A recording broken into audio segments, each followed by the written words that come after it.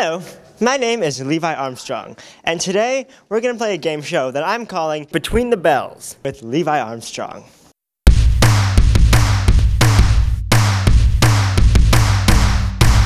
Excuse me, coming through, coming through. What's your name?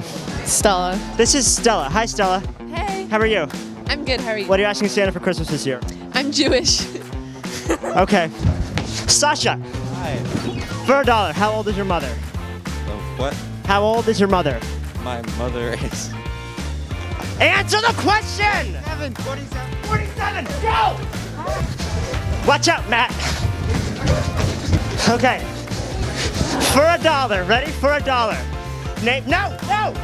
Eleanor, Eleanor, God! Miles, for a dollar, what is one New Year's resolution that has not come true for you yet? Uh, there's a lot of those, man. One, Uh, dude, what do you want from me? anything! I have to get to class. What? I have to get to class, bro. Oh, he has to get to class. Go! Miss Reeves?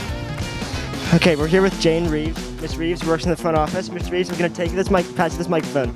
Miss Reeves, what is one New Year's resolution that you're making for 2022? To try to be patient and kind to students as they come and interrupt me in the middle of my work. Great answer. Thank you, Miss Reeves. Oh, wait, you!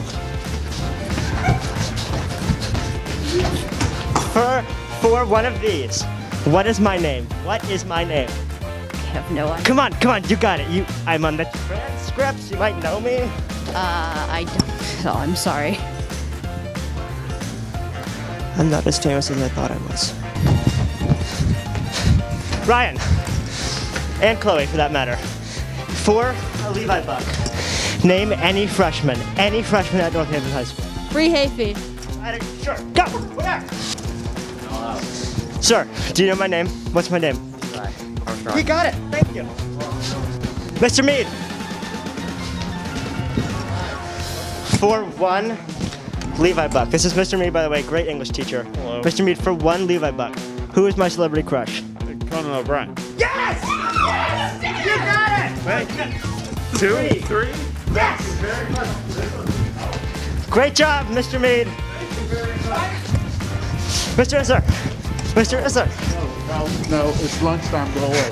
If you could change, if you could change one quality about me, what would it be? Go away. He doesn't really care for me, but that's okay. I think he's a really good guy. Thanks, Mr. Isler. I know we're still friends. We're still friends, right? Thumbs up. I don't know what I'm doing.